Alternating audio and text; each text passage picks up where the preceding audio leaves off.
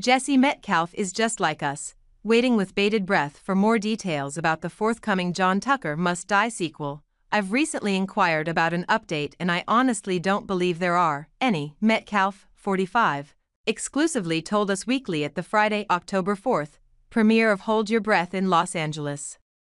People are still talking about it. I'd love to help push it forward, but I don't really know how to do that.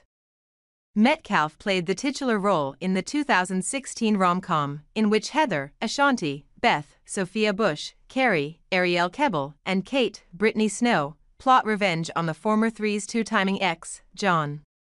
News broke in March that Kebbel, 39, was workshopping a script, while further details about a sequel script have not been revealed. Fans have theorized that Metcalfe's John could be a girl dad in the new iteration. John Tucker Must Die cast. Where are they now?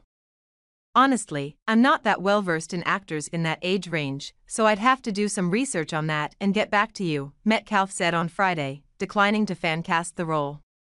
But it's a fun opportunity to work with a talented, young, up and coming actress, that's for sure. Until more news is shared, Metcalfe can focus on his fond memories of the OG set.